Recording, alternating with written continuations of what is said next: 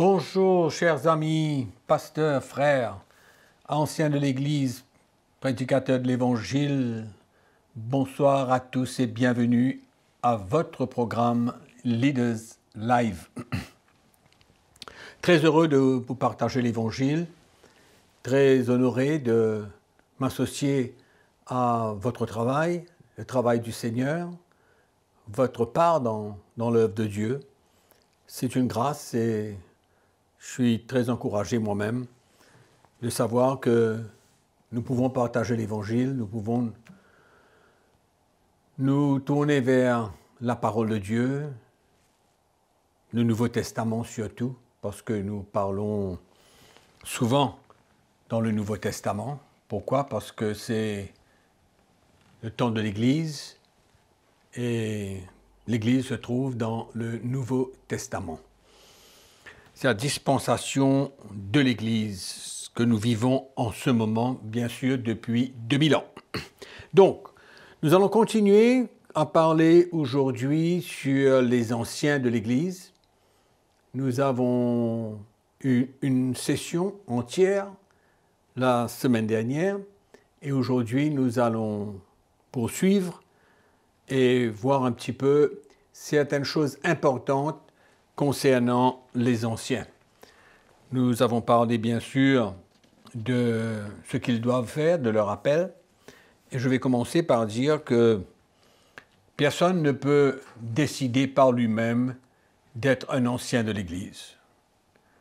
Ce n'est pas scripturaire, c'est un appel de Dieu, et nous pouvons voir dans toutes les épîtres le début des épîtres, comment l'apôtre Paul lui-même surtout parle, comment il avait été appelé du Seigneur, que c'est un appel de Dieu dans sa vie, et ce n'est pas, son propre désir à lui, mais c'est l'appel de Dieu dans la vie de, du serviteur de Dieu.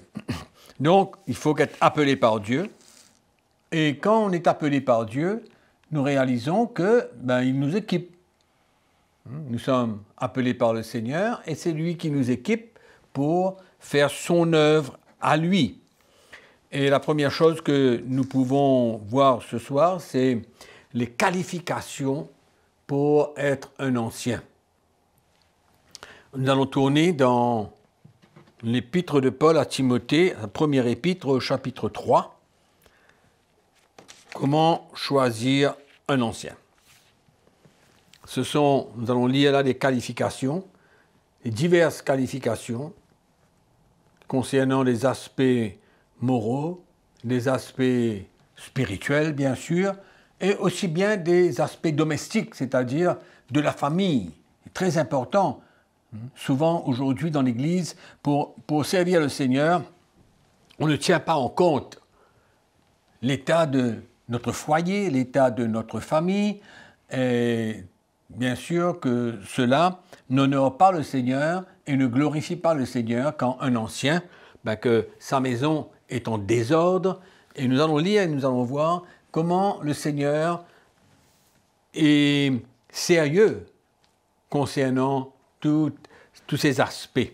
Alors nous allons lire au verset 1 au chapitre 3. La Bible nous dit, cette parole est écrite, et certaine, pardon, si quelqu'un aspire à la charge d'évêque, il désire une œuvre excellente.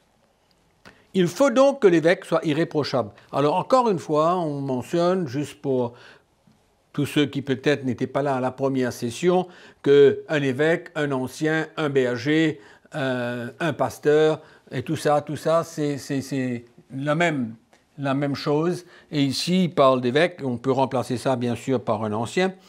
Il faut donc que l'évêque soit irréprochable, mari d'une seule femme, sobre, modéré, réglé dans sa conduite, c'est-à-dire intègre, que l'intégrité forme partie de sa vie, hospitalier, propre à l'enseignement. Il faut qu'il ne soit ni adonné au vin, ni violent, mais indulgent, pacifique, désintéressé. C'est bien le mot désintéressé. Il faut qu'il dirige bien sa propre maison et qu'il tienne ses enfants dans la soumission, et dans une parfaite honnêteté. Car si quelqu'un ne sait pas diriger sa propre maison, comment prendra-t-il soin du peuple de Dieu? Il ne faut pas qu'il soit un nouveau converti. De peur qu'enflé d'orgueil, il ne tombe sous le jugement du diable. Il faut aussi qu'il reçoive un bon témoignage de ceux du dehors, afin de ne pas tomber dans l'opprobre et dans les pièges du diable. Amen. Donc quand nous voyons ces qualifications, si on peut dire, euh, nous voyons que c'est très important que l'ancien donne des signes d'une vie donnée, d'une vie sacrifiée. Quand on regarde ces qualifications, et peut-être qu'on peut passer dessus un petit peu rapidement avec, euh, sur ce que nous avons lu. Alors il doit être irréprochable, mari d'une seule femme, sobre, modéré, intègre, hospitalier, propre à l'enseignement, c'est-à-dire qu'il est capable d'enseigner le peuple de Dieu dans une certaine mesure, dépendant de son appel. Il ne peut pas qu'il soit donné au vin, ni violent, mais indulgent, pacifique, désintéressé. Il y a certaines, certaines qualifications là-dedans qui m'intéressent beaucoup, que je vois vraiment l'importance.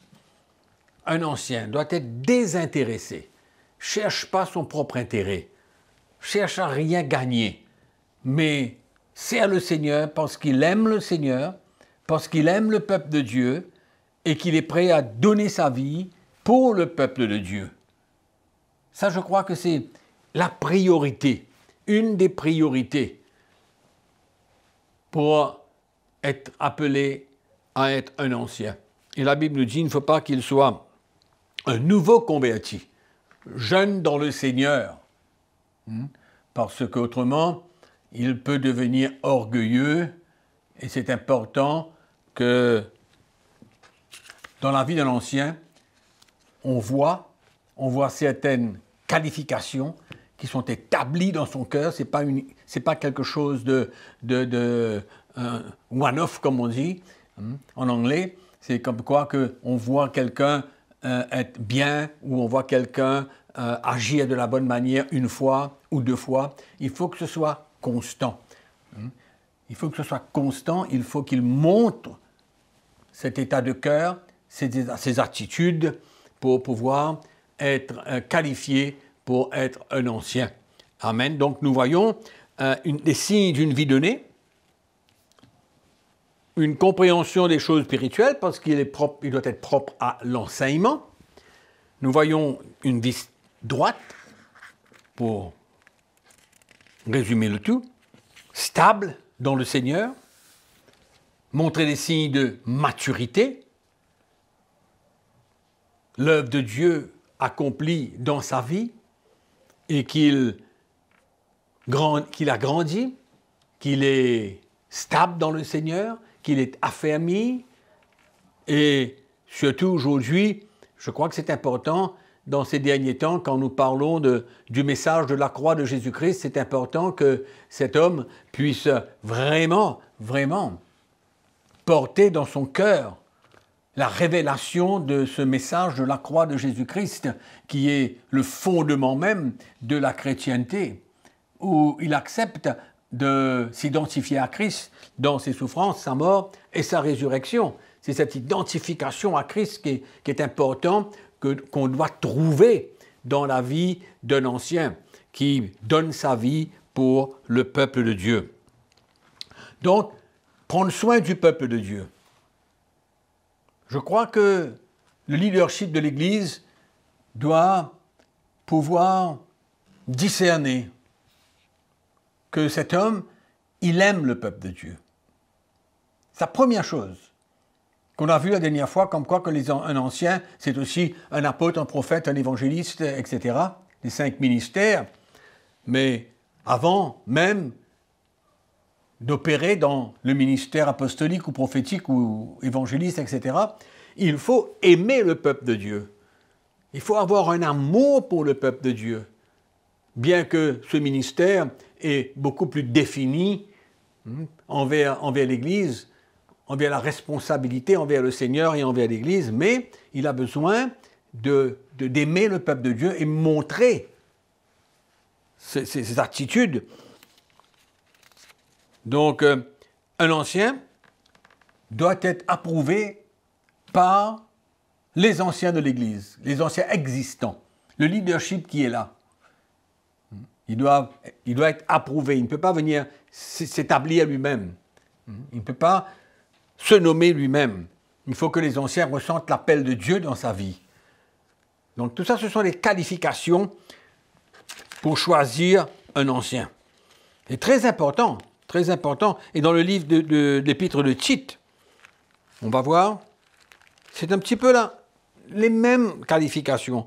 Dans Tite, chapitre 1er, verset 5, Paul dit, je t'ai laissé en Crète afin que tu mettes en œuvre ce qui reste à régler, et que selon mes instructions, tu établisses des anciens dans chaque ville, s'il s'y trouve quel homme irréprochable, mari d'une seule femme avec des enfants fidèles, qui ne soit ni accusé de débauche ni rebelle, car il faut que l'évêque soit irréprochable, économe de Dieu, qui ne soit ni arrogant, ni colérique, ni adonné au vin, ni violent, ni porté à un gain honteux, mais qu'il soit hospitalier, ami des gens de bien, modéré, juste, saint, tempérant, attaché à la vraie parole, telle qu'elle été enseignée, afin d'être capable d'exhorter selon la saine doctrine et de réfuter les contradicteurs. Donc on peut voir que c'est un peu les mêmes qualifications. Et ici, Paul parle d'un ancien et dans Timothée, il parle d'un évêque. Donc nous voyons que c'est la même chose. OK. Allez, allons passer à un autre, euh, un autre petit point qui est important et qui va peut-être choquer pas mal d'entre vous. C'est que la question, c'est que une femme peut-elle être un ancien? La réponse, elle est claire. Pourquoi? Parce qu'un ancien opère dans un niveau d'autorité. Nous avons vu que la femme doit se soumettre à l'homme. Donc, comme un ancien, c'est un ministère qui transporte de l'autorité, puisqu'il fait partie du corps des anciens pour diriger l'Église, pour donner une direction à l'Église, pour pouvoir ensemble, ensemble exercer l'autorité de Dieu donnée par le Seigneur dans leur vie. Donc si on regarde bien la parole de Dieu, je n'ai pas le temps d'aller en détail là-dessus aujourd'hui, puisqu'on parle des anciens, on a besoin de, développer euh, cet appel. Donc la femme n'est pas appelée à prendre une position d'autorité dans l'Église. Gouverner l'Église locale. ce n'est pas scripturaire, on ne voit pas cela dans le Nouveau Testament aucune part et comme quoi que dans ces derniers jours, nous avons besoin de nous limiter à la parole de Dieu, d'obéir, de nous soumettre à la parole de Dieu, même, même si nous avons grandi avec euh, cette, euh, je ne dirais pas forteresse, mais avec cette compréhension, comme quoi que un homme et une femme qui sont égaux, ils peuvent être anciens de l'Église ou pasteurs ou apôtres ou, ou prophètes ou etc. Ça n'existe pas dans le Nouveau Testament. Il ne faut pas aller chercher ce qui n'existe pas. Amen. Donc, nous ne devons pas, nous, suivre le mode du monde, le style du monde, mais nous devons demeurer, rester dans la saine doctrine. Amen. Donc, c'est clair aujourd'hui. Même quand nous avons lu 1 Timothée chapitre 3 à partir du verset 1 et 7, l'apôtre Paul parle d'un homme. Quand il parle à titre, il, il dit un homme. Il ne dit pas une femme, il dit un homme. Donc nous avons besoin de nous limiter à la parole de Dieu. Amen. Par contre, parlant de la femme, euh, il va parler en ce qui concerne les diacres que nous allons voir une prochaine fois. Nous n'allons pas nous attarder là-dessus. Euh, il parle, et la Bible mentionne même qu'il y avait des diaconesses dans l'Église. Donc pour cela, nous allons parler une autre fois. Ok, alors, qui c'est qui ordonne les anciens de l'Église.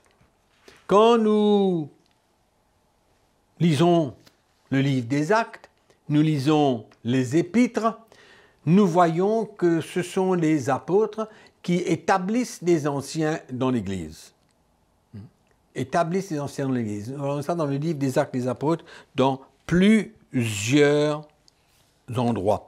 Dans Actes chapitre 14, on va, parler, on va juste mentionner un cas, et vous pouvez aller chercher ailleurs, prendre des références. Actes chapitre 14, au verset 21, quand ils eurent évangélisé cette ville, c'est Paul et Barnabas, et fait un certain nombre de disciples, ils retournèrent à Lystre, à Icône et à Antioche, fortifiant l'esprit des disciples, les exhortant à persévérer dans la foi, et disant que c'est par beaucoup de tribulations qu'il nous faut entrer dans le royaume de Dieu. Ils désignèrent des anciens dans chaque église. Donc Paul et Barnabas, apôtres de Jésus-Christ, c'est eux qui ont désigné des anciens dans l'église et ils les ont établis comme anciens de l'église. Amen. Et dans l'épître de Tite, c'est la même chose. Nous pouvons aller chercher, c'est la même chose. Tite chapitre 1, verset 5. Amen.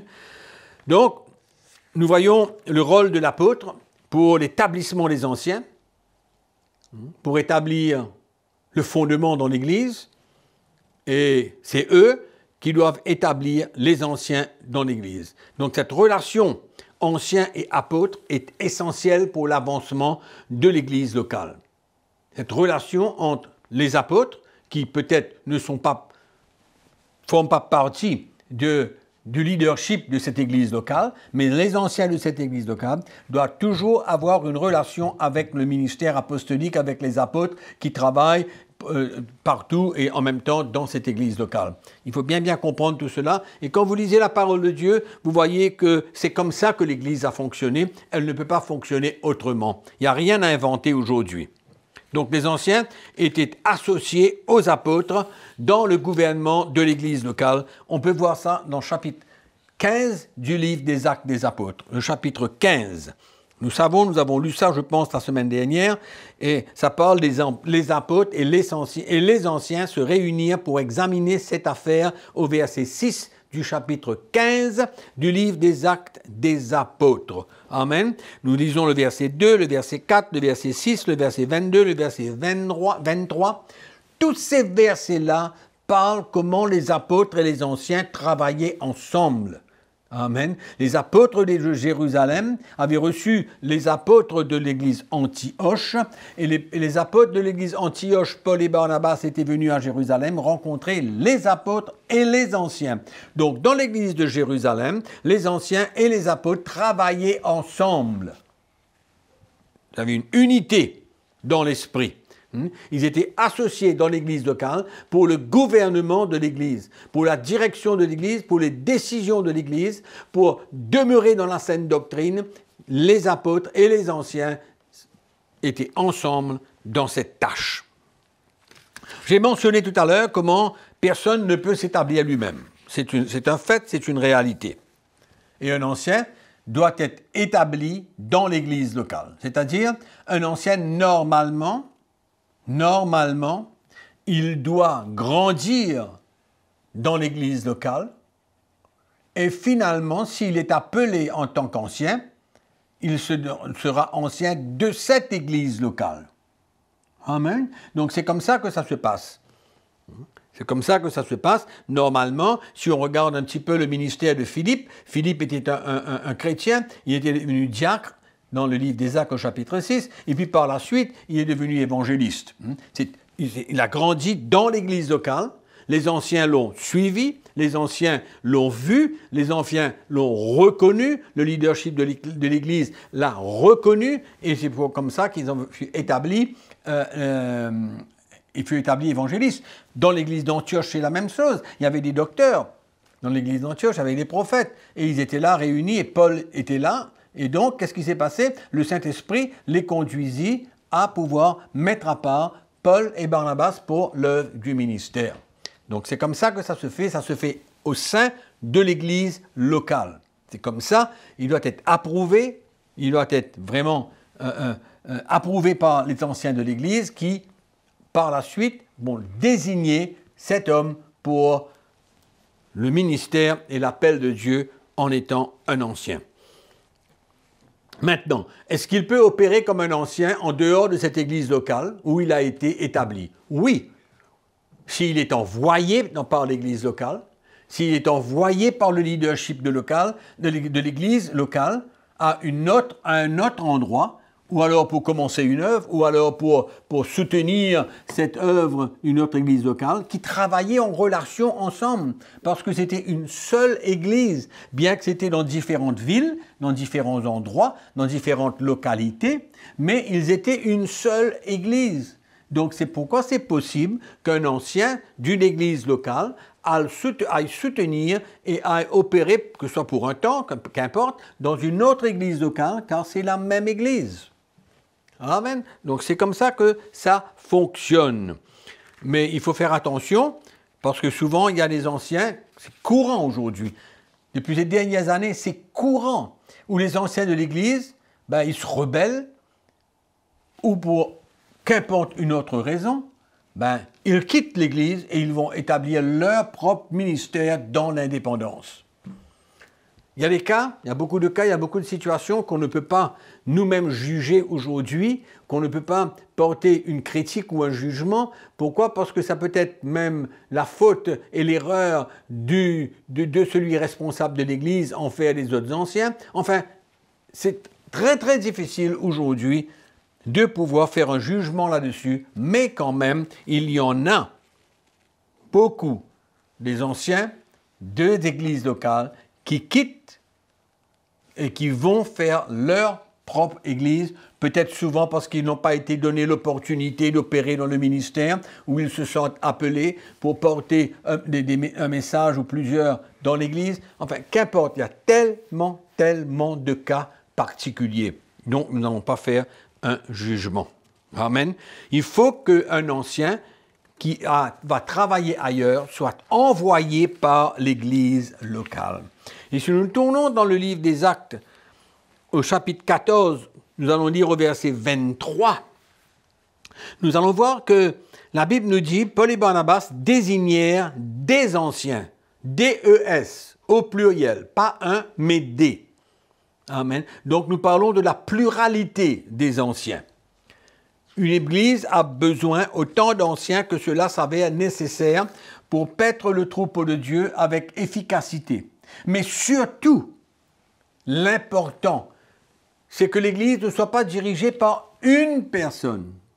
Une personne, un ancien de l'Église. Il peut être pasteur, il peut être n'importe qui. C'est dangereux, dangereux. À moins, à moins qu'il y ait vraiment une relation avec le leadership d'autres églises qui ont accès dans cette église locale et qui peuvent venir investir dans cette église locale et qu'il y a une relation qui s'établit entre les églises locales, les, les anciens des autres églises locales et cette personne, cet ancien, dans cette église locale, alors là, il n'y a pas de problème, il n'y a pas de risque. Pourquoi? Parce que il est, il est, il est allons dire qu'il n'est pas seul, Amen. Il est protégé, il est en sécurité au travers de sa relation avec les autres anciens les autres églises locales. Amen. Je crois que ça peut être clair maintenant. Mais ce qui est important, c'est que dans une église, euh, nous voyons que le, mot ancien est toujours au pluriel, à moins que ce soit la définition d'un ancien. Mais il désignait toujours des anciens. Alors ça, c'est très important de pouvoir accepter cela. Donc le nombre n'est pas spécifique, mais il y a plusieurs. Donc dans chaque ancien n'a pas la même responsabilité, n'a pas la même influence, mais en ayant plusieurs anciens de l'Église locale, cela évite, évite le concept d'un dictateur, ou alors ce qu'on appelle un one-man show. Il coupe, il tranche, il décide, il prêche, il encourage, il exhorte, il fait tout par lui-même sans qu'il y ait un apport d'autres ministères, d'autres anciens dans cette église locale. Donc il est comme si c'est comme si qu'il est l'interprète de tous. Donc tous les anciens doivent être soumis au corps d'anciens. C'est ça la protection de chacun. Il y a une soumission de cœur. Qu'importe le ministère, il y a une soumission de cœur, il y a une humilité où on reconnaît l'appel de Dieu dans la vie de chacun et on se soumet à ce corps d'anciens. Amen. Donc ce n'est pas une dictature. C'est tout cela, c'est pour la protection de l'Église, la protection du peuple de Dieu. Et en passant, le peuple de Dieu doit être averti de ne jamais suivre un ancien ou l'écouter s'il agit contrairement du corps d'anciens existants. Il faut faire bien attention qu'on ne suive pas quelqu'un, qu'on n'établisse pas des relations émotionnelles avec un ancien, parce que si le matin il veut quitter, cette relation que nous avons avec lui va nous entraîner à le suivre et, ne pas se soumettre au corps d'anciens. Donc c'est très important tout ce que je partage avec vous aujourd'hui parce que la sécurité de l'Église est importante. Ok, donc tous les anciens sont soumis à ce corps de Christ. C'est très important. Chacun a besoin d'apprécier la vraie valeur de chacun. Chacun doit avoir une estime dans l'ordre que Dieu a établi dans l'Église dans l'église locale, parce que dans l'église locale, il peut y avoir des anciens, il peut y avoir des anciens des cinq ministères et des anciens qui ne sont pas appelés dans les cinq ministères que nous avons vus la dernière fois. Amen. donc, c'est important aujourd'hui que chacun reconnaisse l'appel de Dieu différent dans la vie de chaque ancien et qu'il y a une soumission et qu'il n'y a pas de compétition à ce niveau. Et tout cela, bien sûr, c'est au travers de, ce fondement important qui a besoin d'exister au sein de l'Église locale. Hein. Le fondement posé, message de Christ, cette identification en Christ, c'est ça qui va emmener chacun à prendre sa croix et suivre le Seigneur et s'humilier, pardonner, relâcher, se soumettre à chacun. Donc c'est merveilleux.